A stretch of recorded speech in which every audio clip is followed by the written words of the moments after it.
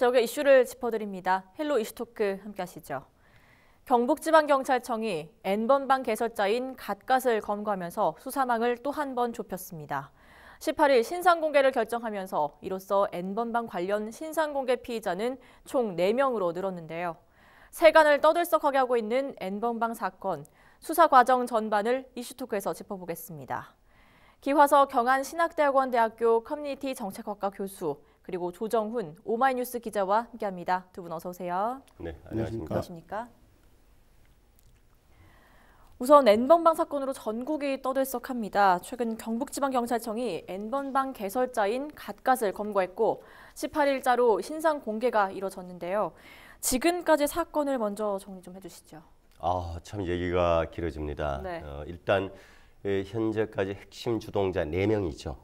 예, 지금 뉴스 미디어로 뭐 너무나 잘 알려져 있는 이번에 갓각 문영욱, 예, 그다음에 조주빈, 강훈, 그리고 군인이죠. 군인 이원호, 이기아라는 닉네임이죠. 이 4명인데 이 4명의 공통점은 나이로는요. 평균으로 보면은 21.3세 지나지 않습니다. 네.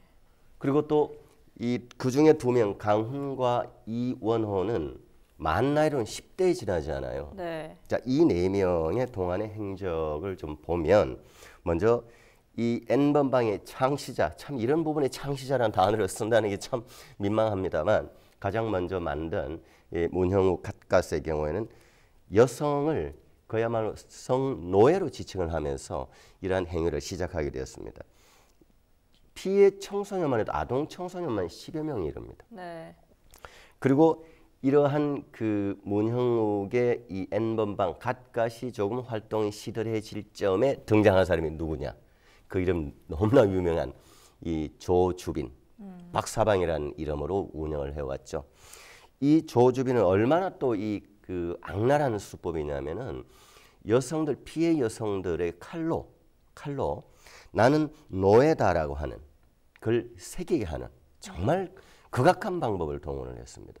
처음에 이 조주빈은 총이나 마약류를 팔겠다고 유인을 해서 들어온 사람들한테 수위가 높은 단계에 따라서 3단계로 나누어 가지고 돈을 많이 주면 가상화폐를 사용하죠. 네. 돈을 많이 주면 조금 더 수위가 높은 영상물을 볼 수 있는 방으로 안내를 하는 아주 치밀한 기법을 동원을 했습니다. 그다음에 세 번째가 어, 강훈 바로 조주빈을 도와서 이 홍보를 하고 금전을 인출을 하고 또 가상화폐니까 실제 현금으로 환전을 해야 될 거 아닙니까? 이런 것들을 총괄적으로 도와준 사람 이 문제. 그다음 네 번째가 이제 아, 이원호라는 사람.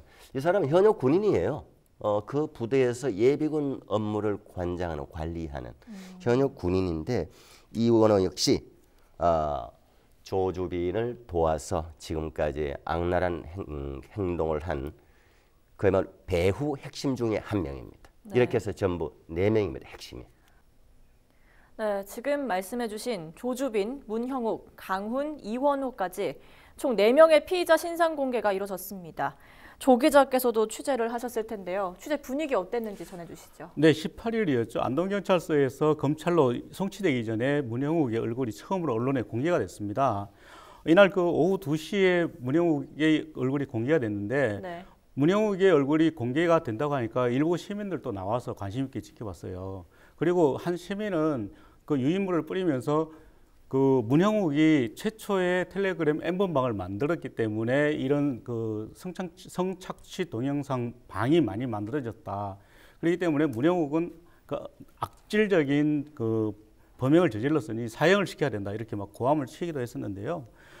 또 반면에 문형욱은 아주 담담한 표정으로 어, 기자들 앞에 나섰습니다. 그래서 여러 질문을 하고 또 답변도 했었는데 그 피해자에 대해서 어떻게 생각하느냐 하니까 피해자와 피해자 가족들에게 죄송하다 이렇게 얘기를 했습니다. 얘기를 했지만 또는 어떤 대답을 하면서는 내가 꼭 이런 대답도 해야 되나라는 말도 했어요. 네. 그러면서 좀 그 기자들한테 그 좀 귀찮다는 듯한 표정을 짓기도 했었고 네.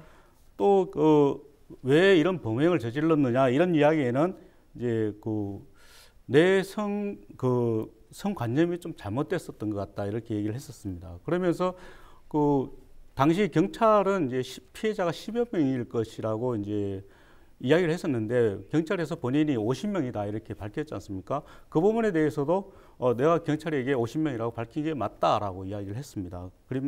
그리고 또 기자들의 이제 질문이 한 일곱 여덟 번이 있었는데 끝까지 질문을 다 하게 됐습니다. 근데 네. 그런데 이 친구를 보면서 좀 그 어, 이 젊은 친구들이 좀 여성 혐오라든지 아니면은 그 누구에 대한 복수심으로 이런 걸 저질렀다 이런 게 너무나도 당당하듯이 막 이렇게 표현을 하는 모습을 보면서 참 너무나도 잘못된 생각을 많이 가지고 있었구나 좀 참담했습니다.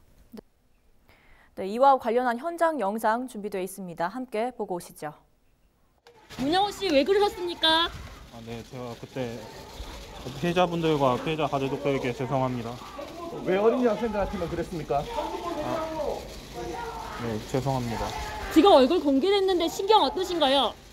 어, 후회스럽고 죄송스럽습니다. 참, 처음 처음 왜 소환을 응했어요? 네? 왜 경찰에 처음 스스로 나왔냐고요? 아, 그거는 저쪽에서 연락이 와서 나갔습니다. 범의 목적이 뭡니까? 제가 잘못된 성 관념을 가지고 있었던 것 같습니다. 피해자는 전부 50명 맞습니까? 네, 그 정도로 제가 경찰께 말씀드렸습니다. 성폭행 지시한 게 몇 건입니까? 이거 계속 계속 다- 답해야 되나요? 어, 네, 정확하게는 세건 아니 아니 세건 정도였습니다. 지금 다른- 학교 퇴학까지 고려되고 있는데 심경 어떠세요? 죄송합니다. 다른 사람들한테 받은 건 상품권 90만 원이 다예요? 네, 맞습니다. 피해 여- 조주빈하고는 어떤 사이입니까? 자- 관련 없는 사람입니다. 피해 여성들한테 네, 한마디? 하시죠. 아, 네, 마치겠습니다. 죄송합니다. 죄송합니다. 네, 현장 영상 보고 오셨습니다. 지금 영상에서도 확인을 했다시피 세건 정도의 성폭행을 지시했다 이렇게 문형욱이 답을 했는데 조사 과정에서도 몇 년 전 대구에서 벌어졌던 성폭행 사건도 문형욱 자신이 지시했다고 증언했다는데 이 증언의 신빙성이 좀 있습니까? 예, 신빙성이 상당히 있다고 보여집니다. 네. 왜냐하면은 그 문영욱이 18일 그 기자들 앞에서 본인이 성폭행을 지시한 게 세 건이나 있다라고 직접 밝혔거든요. 네. 그 가운데 한, 하나가 지금 이 사건이라고 보여지는데요. 2018년 12월에 대구 시내에서 그 여고생 성폭행 사건이 있었습니다. 당시 그 문형욱은 이제 SNS를 통해서 그 만난 A 씨, 이- 이 A 씨에게 어 17살 된 그 여자를 만날 의향이 있느냐 이렇게 네. 물었고 또 이 친구가 만날 의향이 있다라고 하니까 이 그 여자애가 내 노예인데 스킨십은 다 해도 된다 이렇게 얘기를 했다는 겁니다. 그래서 이 친, 이 A 씨가 이 여, 여 학생을 만나서 성폭행을 하고 그 과정을 동영, 동영상으로 만들어서 문영욱에게 보냈다는 것이죠. 네. 그렇기 때문에 이또이 영상물을 문영욱이 자신이 그 개설한 그 대화방에 유포를 했거든요. 이 과정을 봤을 때 문영욱이 이야기한 게 상당히 신빙성이 높다고 이렇게 보여지는 거죠. 네. 지금 문형욱은 박사방 조주빈과 본인이 관련이 없다 이렇게 주장했다는데요. 대화를 나눈 것은 확인을 한 것으로 보여지죠. 그렇죠. 5월 18일 검찰 송치가 되는데 송치 직전에 이제 경북지방경찰청 조사를 받고 나오는 과정에서 이제 기자들의 어, 질문에 네. 자기는 그 박사방 조지빈과는 관련이 없다 라고 얘기를 했습니다만 경찰의 조사 과정에서도 직접적인 어, 관계는 없다고 하더라도 오프라인 상에는 네. 없다 치더라도 그러나 지금 조사한 결과 텔레그램 상에서 나타난 그 대화 내용을 봤을 때는 충분히 서로가 존재는 인지했을 것이다라는 것은 명확합니다. 네. 그 그랬던 것이 그 2018년도에 문형욱이 바로 이 N번방을 처음 만들어 시작 그 나이가 19세부터 시작돼서 지금까지 길게 왔기 때문에 박사방 조주빈이라든지 이런 사람들과의 관련이 없다라는 거 그거는 거짓말이라고 봐야 되죠. 네, 네. 그렇군요. 현재도 경북지방경찰청은 수사망을 점차 좁혀가고 있습니다. 이제 사마귀 등 나머지 공범 등의 행방을 쫓고 있는 상황인데요. 수사는 어디까지 진척된 것으로 전해집니까?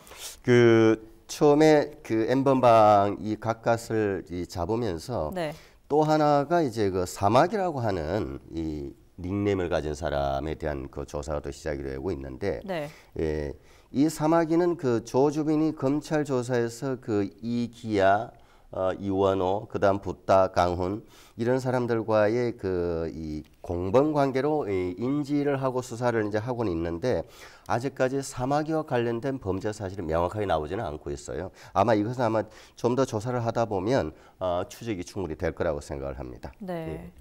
수사 과정에서 혼선을 주는 일도 있었는데요. 대구에서 본인이 사막이라고 주장한 사람이 나왔다고요? 예, 그렇습니다. 40대 남성이었는데요. 네. 이 40대 남성이 대구의 한 지구대를 찾아가서 내가 그 사막이다. 내가 그 조조빈의 그 공범이다. 이렇게 자백을 했다는 겁니다. 네. 그래서 어, 대구 시, 대구 경찰청이 이 40대 남성에 대해서 조사를 했습니다. 조사를 한 결과 어, 이 남성이 진술한 것은 거짓말이었다라는 네. 게 드러난 것이죠. 하지만 이, 이 남성은 그 지구대에 찾아가기 전날 밤 자기 어머니에게 어, 엠번방을 만든 갓갓이라는 사람을 내가 도왔다. 그리고 내가 조주빈의 공범인 사막이다라고 밝혔다는 거예요. 네. 그리고 그 지구대를 찾아간, 찾아간 것으로 알려졌는데요.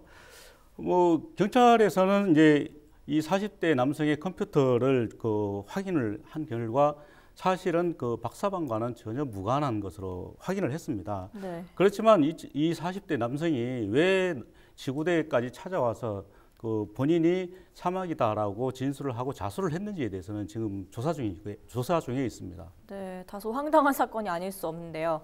한편으로는 그동안 수사에 난항을 겪었던 조주빈의 핸드폰 비밀번호를 풀었다는 소식도 공개가 됐습니다. 이것이 범죄 입증의 명확한 근거로 작용할지가 좀 관건이 아니겠습니까? 그렇죠. 어, 명확하게 작용을 하게 되죠. 그야말로 핵심 단서가 되는 smoking gun이라고 얘기를 하는데 네. 에, 동안 처음에 그 이 조주빈을 압수수색을 했을 당시에 핸드폰이 두 개 발견되었어요. 하나는 안드로이드, 어, 안드로이드 폰이고 하나는 아이폰인데 그 중에 하나를 어, 집 소파의 은밀한 곳에 숨겨놨어요. 근데 그걸 이제 압수를 해서 지금까지 풀지를 못했습니다. 조주빈을 조사하는 과정에서 비밀번호를 대라 했더니 자기는 기억나지 않는다. 그래서 또 기억나는 대로 몇 개를 이제 비밀번호를 경찰에 제시를 했는데 그걸 다 그걸 넣어보니 다 아니었던 거예요. 거짓말이었던. 거예요. 그러나 이제 결국은 이제 어, 이 포렌식 기법이라고 그러죠. 이제 그러한 그 이 아주 첨단 기법으로 비밀번호를 해독을 해서 풀었습니다. 풀었기 때문에 이제 여기서 이제 많은 것들이 단서가 나오겠죠. 그러면 여기에 단서 핵심적인 건또 누구와 관련이 돼 있었느냐. 그리고 동안에 이제 그 금전 거래 관련되는 것들이 구체적으로 나오게 되겠죠. 그야말로 이것은 뭐 대단히 중요한 결정적인 수사 단서가 됩니다. 네. 수사 본부가 꾸려지고 검거를 하기까지의 사연도 궁금합니다. 일각에서는 N번방 개설자인 문형욱이 경북과 관련이 있어서 경북지방경찰청에서 수사를 한 것이다.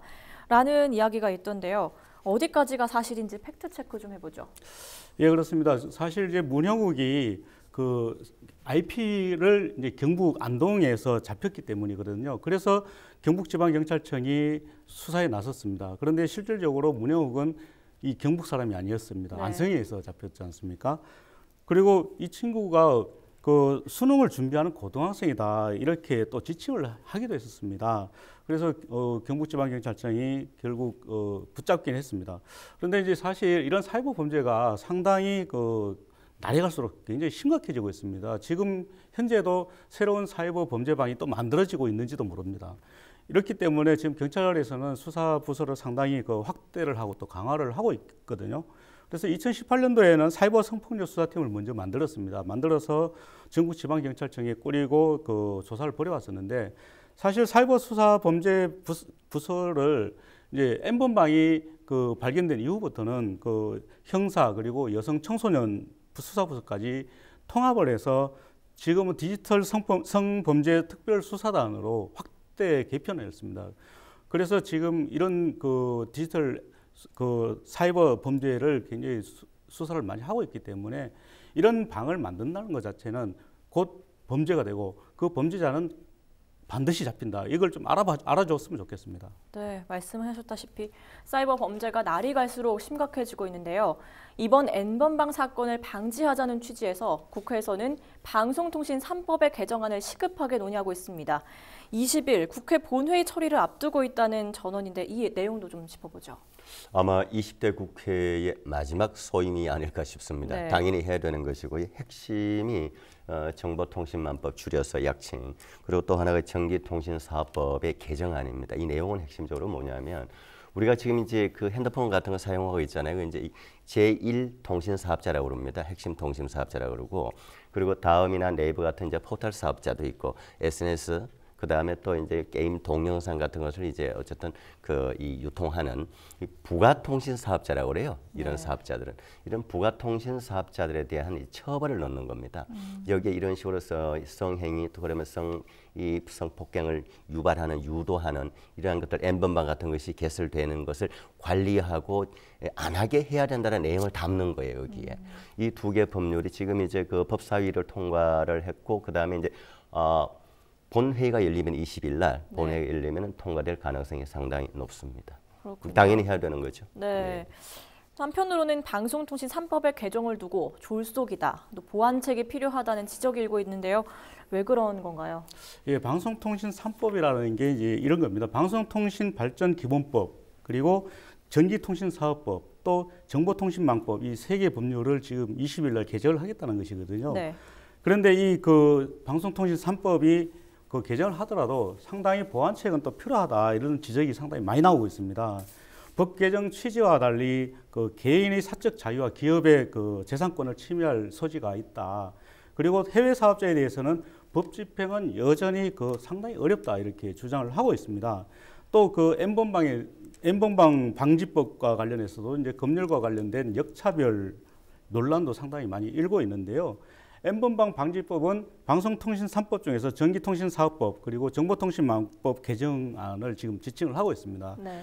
그렇지만 그 인터넷 사업자에 대해서는 어, 그 불법 음란물을 삭제를 하고 또 그 관련 그 접촉을 차단하도록 이런 책임을 부과하도록 하고 있는데요.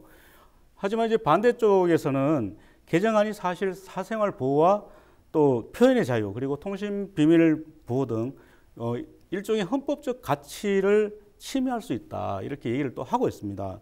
그리고 어, 실제로는 엠번방이 그 벌어진 것 자체가 텔레그램이지 않습니까? 텔레그램은 국내 기업이 아니고 아닌 외국 기업이고 서버도 외국에 있기 때문에 이런 경우에는 실질적으로 우리 국내 법으로는 법적 처벌을 할 수 있는 장치가 굉장히 미약하다 이렇게 얘기를 하고 있습니다. 그래서는 이 그 이 전문가들은 정부가 책임을 지지 않고 그 톡- 통신 사업자들에게 그 이용을 감시하라고 하는 것은 정부가 오히려 책임을 방기하는 것이다 이렇게 비판을 하고 있고요. 국제인권법에도 어긋나다, 어긋난다 이렇게 또 얘기를 하고 있습니다. 그리고 그 좀그 심하게 얘기를 한다면은 네. 카카오톡 사, 사찰법이다.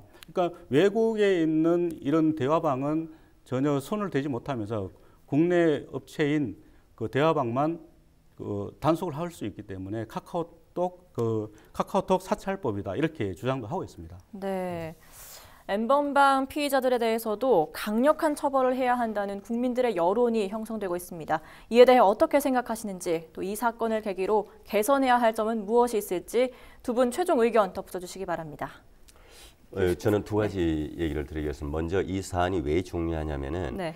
이뭐 갓갓의 문형욱도 본인 스스로 시인을 했잖아요. 수많은 피해자 중에 상당수가 10대 그야말로 미성년자다.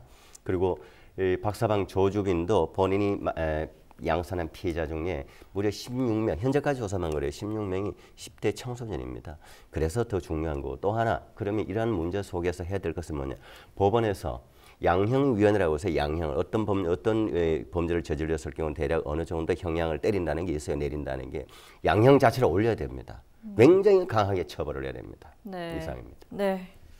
저는 이제 사실 제가 직접 현장에서 취재를 하다 보면은 어, 이런 문제가 발생했을 때 실질적으로 그 범죄에 대해서 좀 집중적인 취재를 하다 보니까 피해자들에 대해서 좀 간과하는 경우가 상당히 많았거든요.